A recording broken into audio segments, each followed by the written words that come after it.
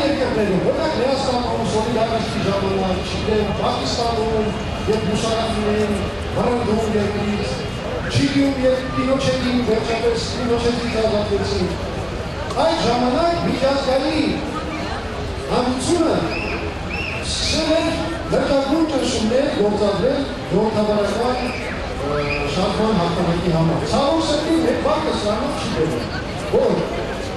մենք 5 տարվա ընթացքում այդպես էլ չունեցանք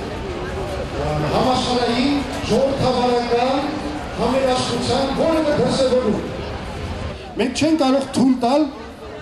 որ Հայաստանում շաբաթներ, ամիսներ շարունակ պարալիզացված լինի պետական մեքենան։ Եվ եթե հիշում եք, անցյալ տարի մարտին մենք կարող էինք գնալ դեստաբիլիզացիայի, բայց մենք երբեք չարեցինք դա, ու չարեցինք մի պարզ պատճառով։ Չարեցինք, որովհետև հասկանում էինք, որ հենց Հայաստանում ստեղծվի այդ քաոսը, Ադրբեջանը անմիջապես օգտվելու է Ղարաբաղի անպաշտպան վիճակից եւ զավթելու է Ղարաբաղը։ Իսկ հետո կներեք ամբողջ պատասխանատվությունը մենք ենք գրելու, մենք, դուք, բոլորս։ Ոստի մենք պետք է հասկանանք, մենք ունենք ամենահզոր շարժումը, 5 տարի շարունակ մենք բոլորս միասին պայքարել ենք, սկսած այդ մարտի 1-յան իրադարձությունից, փետրվյան ցույց, փետրվարյան ցույցերից, հյուսիսային պողոտայում մեր ամենօրյա այդ կռիվները ոստիկանության հետ, բոլորդ հիշում եք, բոլորդ մասնակցել եք, ինչի համար ձեզ շատ շնորհակալ եմ։ Մեզ մեր դեմ ամեն ինչ կիրառեցին, ծեծեցին, մահակներով, նստեցրեցին բանտերը, սպանեցին, ամեն ինչ արել են, բայց շարժումը գոյատևեց եւ 5 տարի շարունակվեց։ Միջև հիմա այդ շարժումը շարունակվում է եւ ես վստահ եմ, որ նա ունի փայլուն ապագա։ Այո։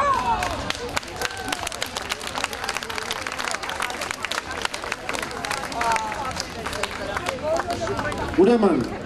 5 տարի առաջ սկսեցինք այսօր մենք տուն գնացողը չենք Ուզում է աշխարհը մեր հետ համերաշխ լինի, ուզում է աշխարհը մեր հետ համերաշխ չլինի։ Մենք միևնույն է պայքարելու ենք մեր իրավունքների համար եւ հաղթելու ենք։ Եվ ուրեմն պայքար, պայքար, մինչև վերջ։ Պայքար, պայքար, մինչև վերջ։ Պայքար, շնորհակալություն բոլորին երբ որ գալիս է այստեղ տեսնում է երիտասարդությանը մարդկանց թշերը ներկայաց երագույնով մի երկու տեղ կանգնեցինք, խոսեցինք երիտասարդության հետ, իսկապես մեծ բան է ունենալ պետական տոնը եւ պետք է հասկանալ ինչ բան է պետությունը։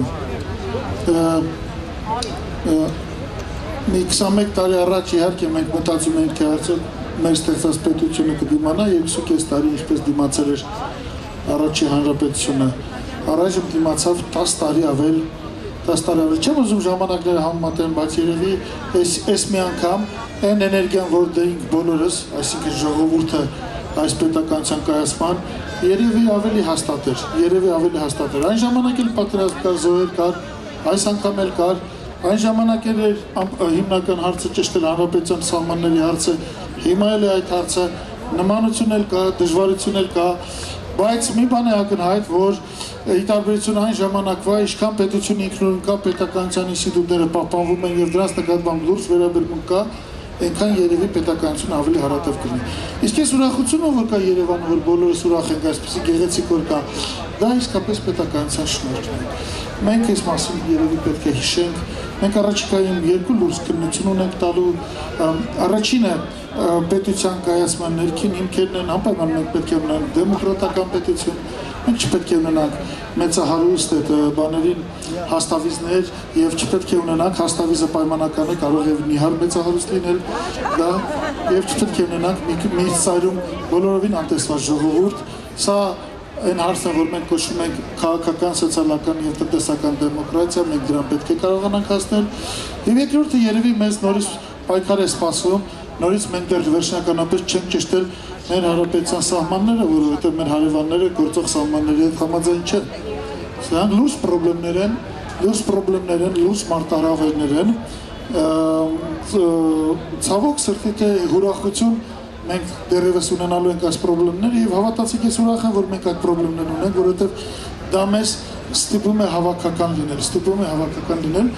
Մեր պատմության մեջ մենք շատ թեթևամիտ ենք վերաբերվել պետությանը։ Մի 3-4 անգամ հենց մեր խելքից կորցրել ենք պետականությունը չեն գնահատել։ Ես կուզենայի, որ այս խորհուրդը բոլորիս մեջ մտներ ու հասկանային եւ ես կուզենայի, որ շատ նորմալ լիներ իշխանությունը։ Չգիտեմ, մեկը լսում ես, մեկը 40 միլիոն դոլար է, մեկը 140 միլիոն դոլար ես ճիշտ ասած շատ ժողովրդավար եմ մտածում եմ որ պետքա լինի դա դատաստան բայց մեկ-մեկ այնքան է արյունը դերում որ ուզում ես ուզում ես պարզապես ինչ որ միտեղ լսես թե մեկը սրան պատի տակ պարզապես գնդակը հարեց որովհետև որովհետև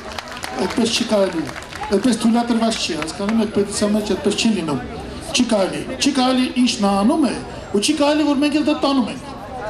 այդպես չի կարելի այդպես չի լինում Եվ այդ ճանապարհը չի կարող բերել նրան, ինչ քիչ առաջ ասացի, նորից պետականության հարանտերություն, ուրախություն ամեն տարի սեպտեմբերի 21 կուզենայի եւս մի եթե մի 10 անգամ ավել տևես քան թե սկզբից պլանավորված էր, ապա ինձ թվում է 200 տարին էլ սահման չի երբեք չմտածեք, չխեղճանաք, որ այս մեկը չլինի, չգիտեմ, մեծ, փոքր, կրծեր հորակույրը, ավակ հորակույրը չլինի, մենք չենք ապրի, ամենահզոր բանը պետականությունն է ինքը իր տեղի ստեղծում է արժեքներ, ստեղծում է ուժ, ստեղծում է էներգիա։ Այս մասին պետք է մտածել։ Եթե այս բաները ասենք հայ պատմության մեջ իշխանները հասկանային, եկեղեցին հասկանան, մենք այդ օրին չէինք լինի երբեք։ Եթե էգոիզմը մարդկանց պետականության արժեք նահանջեր եւ մենք խոնարհվեինք այդ պետականության առաջ, խոնարհվեինք արքաների առաջ, անկախ նրանից ովքեր են այդ արքաները եւ այլն իսկ հիմա էլ պետականության ինստիտուտները, որոնք չպետք է վարկաբեկվեն, որոնք նկատմամբ պետք է հավատ լինի այդ ինստիտուտների նկատմամբ, որովհետեւ մենք էլ սիրով լծվենք դեպի պետականությունը։ Ես կարծում եմ մենք դրանք հասնենք ես կարծում եմ մենք դրանք ասենք, ես շնորհավորում եմ այս տոնի կապակցությամբ եւ կարծում եմ, որ մենք շատ հետեւական խելացի պայքարով բոլոր հարցերը կլուծենք։ Շնորհակալություն։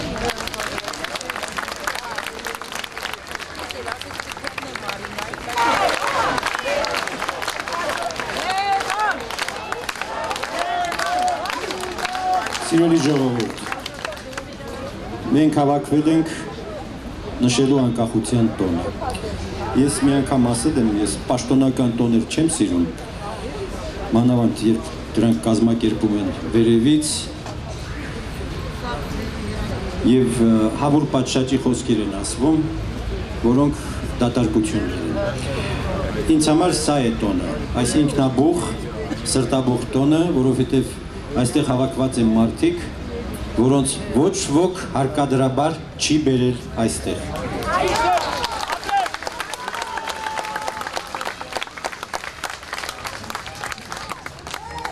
Մենք ունենք պետություն, մենք ունենք անկախություն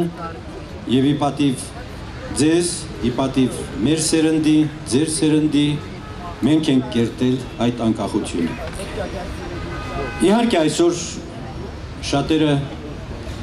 գոհ չեն մեր պետականության այն վիճակից,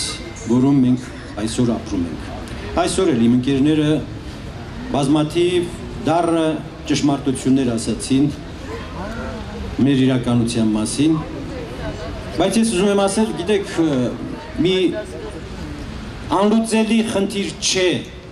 մեր պետությունը դարձնել նորմալ արժանապատիվ պետություն Բացարձակապես մի կարծեք, որ քաղաքագիտությունը շատ բարդ գիտություն է։ Հակառակը քաղաքագիտությունը ամենապարզ գիտությունն է, որը տեսնում է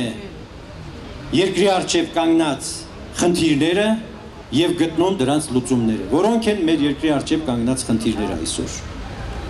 Այսօր ես տեսնում եմ ընդամենը 5 խնդիր։ 5 խնդիր է պետք, որ մեր պետությունը դառնա իսկապես ամուր արժանապատիվ պետություն ազգերի իրավահավասար ընտանիքում։ Որոնք են դրանք։ Հայ-թուրքական հարաբերությունների կարգավորումը, Ղարաբաղի հարցի լուծումը, շրջափակումների վերացումը, կոռուպցիայի արմատախիլ արվելը, եւ օրինականության հաստատումը։ Ուրիշ բան պետք չէ, ուրիշ հանելուկ չկա։